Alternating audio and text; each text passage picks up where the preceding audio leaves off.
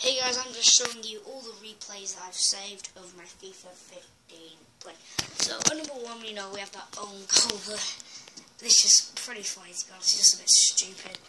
And next one is well then, which I think it was a free kick, yeah it was, of my QPR career mode as a player, and I was playing Man United, and I, I scored that on the player, and I was, I was bouncing around the room, I was so happy. I don't know why, but...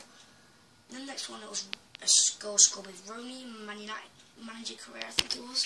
Yeah, it was. It was a good goal against Leicester, I think it was. Not that special, but yeah. That's a random video, really, of all of my things. So, yeah, guys. I don't know how I made that, but yeah, bye.